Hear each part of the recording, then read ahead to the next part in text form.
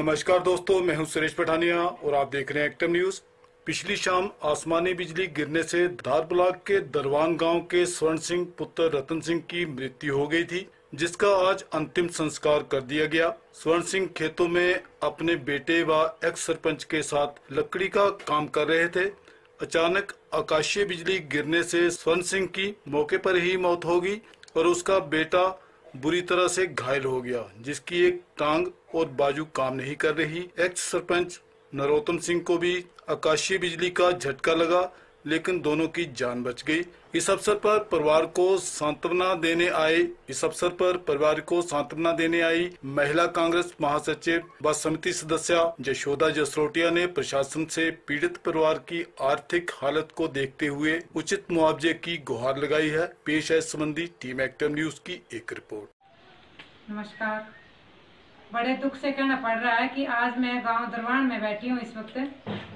यहाँ आकाशीय बिजली गिरी परसों पाँच बजे। ये लड़का और इसके फादर और एक पुराना गाँव का एक सरपंच तीनों खेतों में काम कर रहे थे।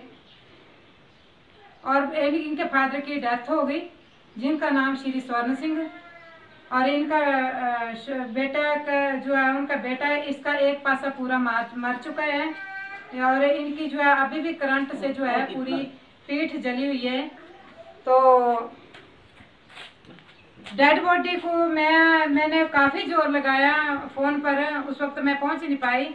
मैंने एस आई दिलबाग सर को भी भेजा कि आप जो है वो इनका धारा एक सौ चौहत्तर के तहत मामला दर्ज कर लो और पोस्टमार्टम की रिपोर्ट दायर करो।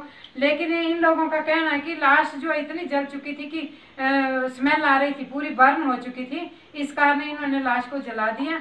तो मेरा आ, सरकार से अनुरोध है एस डी एम साहब से और अपने तहसीलदार साहब और डीसी साहब से, डीसी पठानकोट से मेरा हाथ जोड़कर विनती है कि इन लोगों को कुछ मान्य सहायता दी जाए। बहुत गरीब परिवार हैं, इनका कोई रोज़गार का भी कोई साधन नहीं है।